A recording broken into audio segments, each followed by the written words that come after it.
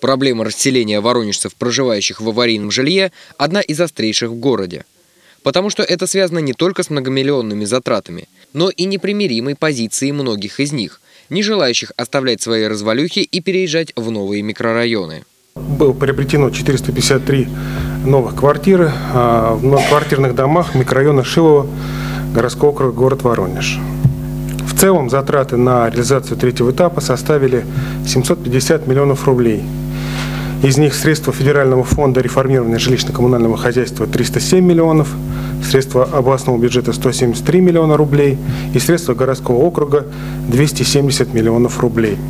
Тысячи переселенцев, попавших в микрорайон Шилова в советском районе Воронежа, уже, наверное, избавились от своих предубеждений и увидели перспективы его дальнейшего развития.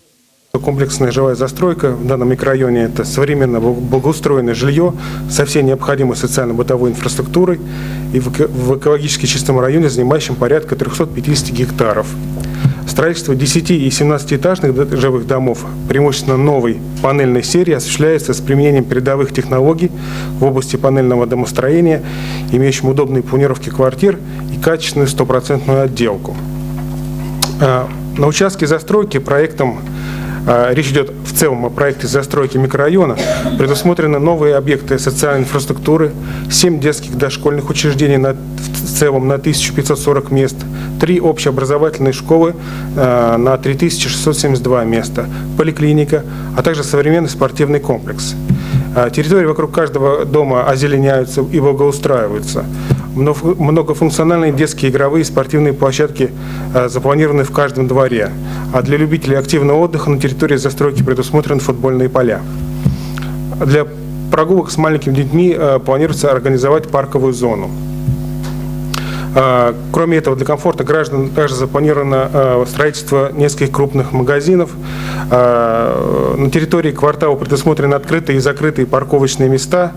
Э, и для проезда к жилой застройке будут открыты новые маршруты общественного транспорта. За счет федеральных бюджетных средств предусмотрено строительство детского сада на 220 мест, вводом в эксплуатацию в 2017 году и общей образовательной школы на 825 мест с вводом в эксплуатацию в 2018 году.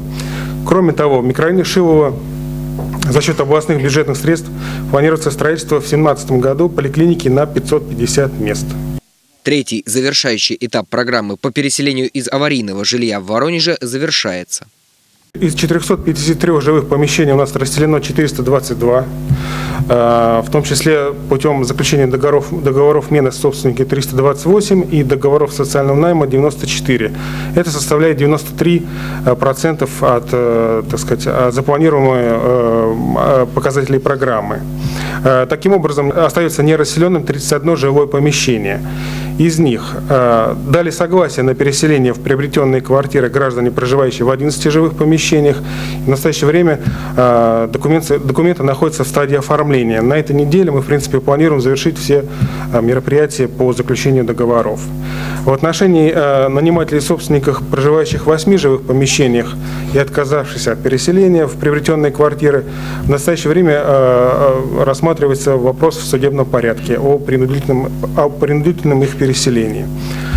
Кроме того, в отношении собственников 12 живых помещений, отказавшихся от переселения, которые не выразили свою волеизъявление, не явились для осмотра а, приобретенных квартир.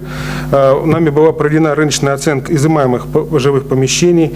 И до 13 декабря текущего года а, нами планируется направить исковые требования в суд о принудительном изъятии жилых помещений и предоставлении гражданам возмещения. Целом мы планируем завершить этап, третий этап программы переселения в срок до 15 декабря и э, сразу же отчитаться э, о реализации программы по переселению в Департамент жилищно-коммунального хозяйства и энергетики по Воронежской области. Олег Юрьевич, я прошу проект поручений дополнить несколькими пунктами.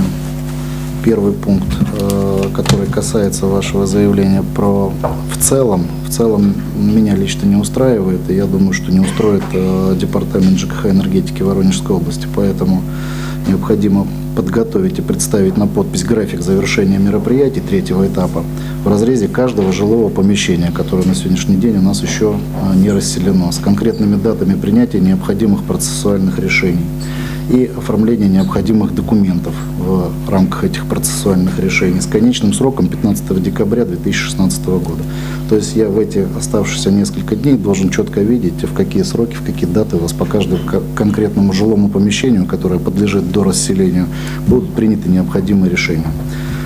Также аналогичный график представить для утверждения по четвертому завершающему этапу э, региональной программы по переселению граждан. Напоминаю, что конечный срок, отведенный на завершение региональной программы по переселению граждан, ограничен датой 1 сентября 2017 года.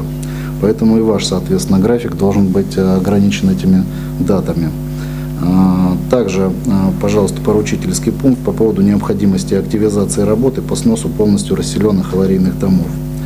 А, необходимо завершить запланированный снос на 2016 год в срок до 20 декабря. Соответственно, в январе 2017 года подать документы на проведение торгов по сносу МКД на 2017 год. Поскольку я знаю, мы лимиты все обговорили, мы все четко понимаем, а, что мы должны сносить и в какие сроки. Также управам, пожалуйста, сформулируйте поручение провести инвентаризацию расселенных домов и при необходимости провести работы по ограничению доступа в такие дома до их сноса и отчитаться до 1 января, поскольку эти замечания делают и органы полиции нам и так далее.